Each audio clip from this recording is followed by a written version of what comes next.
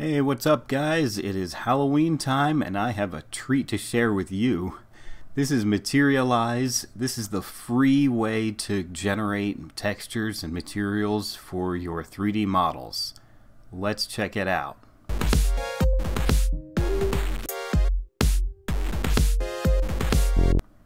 Okay, the first thing you're going to do is come to this website, which I will link in the description below. And you can take a look at what it can do, some general information, all the different textures it can create, and who's using it. And not only is it free, but it is also open source. And then down below that, we just have the download button and it is only available for Windows 64-bit right now. I believe the uh, Linux and Mac versions are coming up soon. Hey, when you download, all you get is a zip file with uh, these files, and you just export it and run materialize.exe. There's no installer, it just runs directly from this file. Okay, when you first open it up, we'll get this blank scene, a blank object that kind of looks like a picture frame. And you can use the right mouse button to rotate it around, or the mouse wheel to zoom in and out, and the middle mouse button to move it around if you really want to. Uh, so let's come up here. We have all these blank little windows here. These are where your textures will go. So the first one we're going to look at is the diffuse map, which is your color texture. And we'll click the O to open, and we'll open our image, which I already have conveniently right here. And you can see it's this kind of stone wall or brick wall. And select. And there we go, it goes in the picture frame. And so now we can come up here to our height map. We'll do that first. And we'll click create. And we can see we get half of it covered in the height map and half of it is the original. And we can adjust that with the slider here for comparison's sake. And so because of this way this particular texture is, we want to get that grout to be a darker color and the stones to be lighter. So we can adjust these uh, frequency weight equalizer, uh, just tweak them around, or we have some presets. So we have default, details, or displace. Now I've already tested this texture out and I found that, oops, I found that doing kind of a downward slope from the right to the left works pretty well.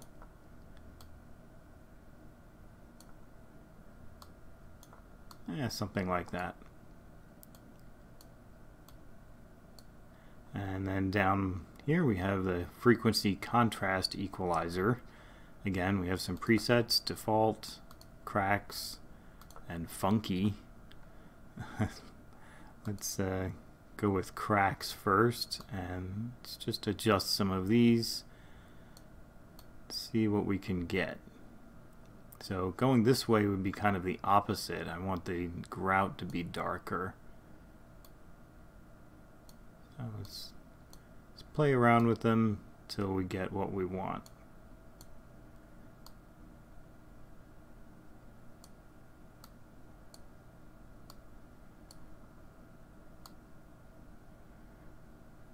Okay, so, so sliding everything down to the bottom gives us pretty much what we want, but we don't want it to be completely solid black and white.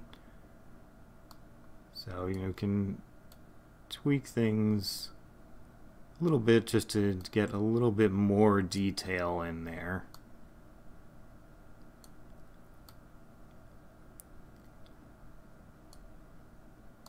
Because our normal map is going to be based off of this height map.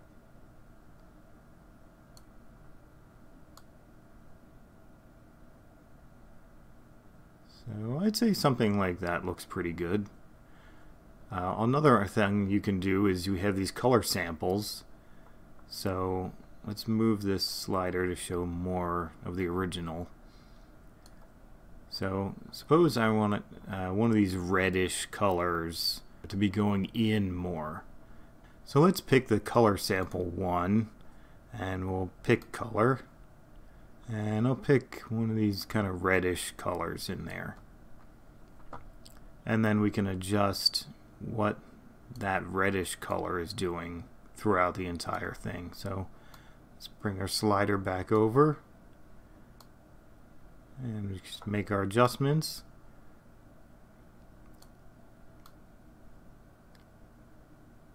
And you can also isolate the mask so that you're only working on that particular color.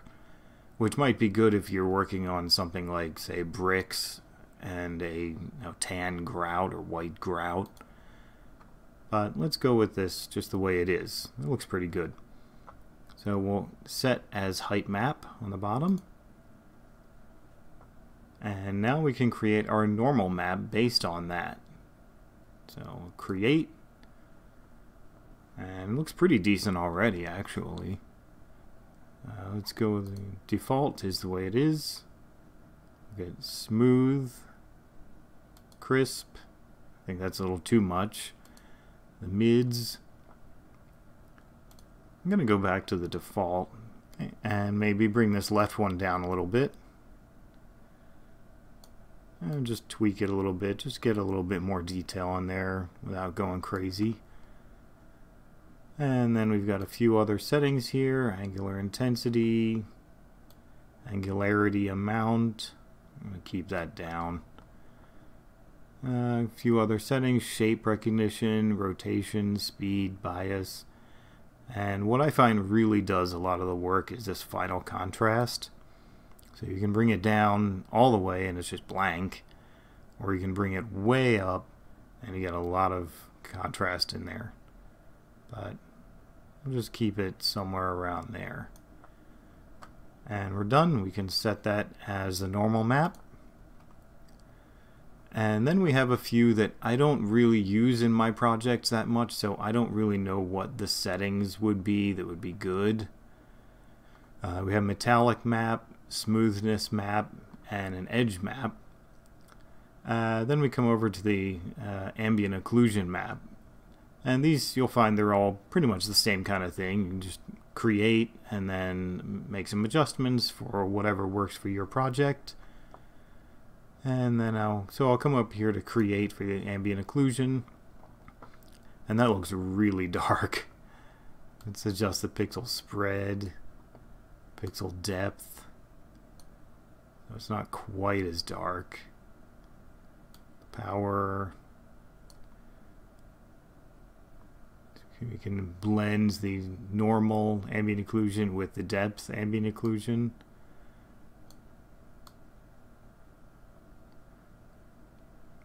Yeah, and adjust the bias. That looks pretty good. And we'll just set that as the ambient occlusion map. And when you're ready, you're satisfied with all of your maps here, we can come down here to show full material and right, that's not too perfect. It's, can go back and tweak some of these if you want. Uh, we can adjust the parallax displacement. It's actually not too bad like that. Uh, we can adjust some of the, these sliders based on whatever you have up here, the metallic, smoothness, edge amount, ambient occlusion, can bring that down. It's actually not as bad as I thought. Uh, we can adjust our texture tiling. Now this is just basically how it visually looks for you for your testing purposes. Uh, we can look at it on a cube. You can rotate it around or a cylinder. And I think this texture actually came out pretty good. And again, we can adjust our parallax displacement. And if you go too far with that, it looks a little silly. But, you know, like this is actually not bad. I like this cylinder because you can see how it looks on when it's flat and on a curved area in one model. A little bit of tearing in there, but that's okay. Yeah, and you can also look at it on a sphere if you want. And so when you're done, you can come up here to Save Project. Uh, you can choose your file format. I like PNG. And you can Save Project. And then it will save out a project file as well as exporting all of your textures. So let's just call this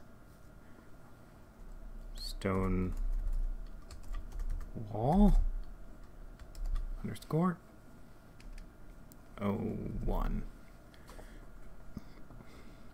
And so we'll click select.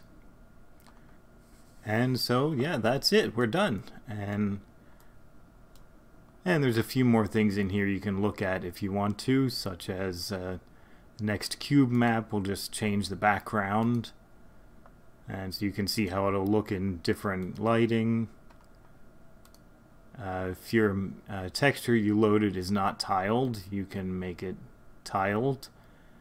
You can adjust the alignment, and then clear will just erase everything. So we're done with this, and I'll try loading this up. I want to show you how it looks in 3D Coat. You can actually paint with this texture. I'll be right back. So here we are in 3D Coat, and I've just got a, a wall here with uh, some polygons and a UV map. Pretty simple object. And so we can come over here to Smart Materials, and I'll click New, and you can see we get our preview window there. And now I can just select my color texture. We've got our stone wall diffuse original here open that up. It'll appear and we can pick our depth. So I can go with either the normal map or the height map, which I'll go with that this time. Just open that up and we get our preview showing how much depth there is. I think that looks kind of a little too much, so we'll bring the depth down a little.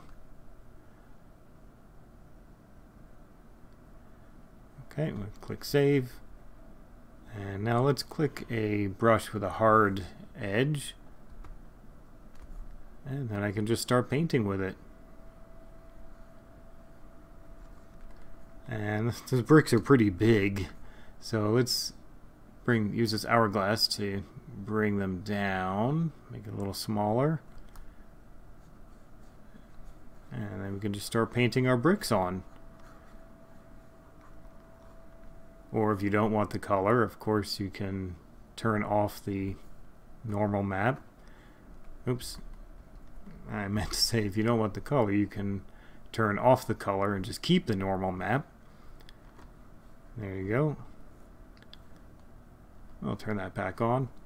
And of course you can also just use the paint bucket and just paint the entire object with these bricks.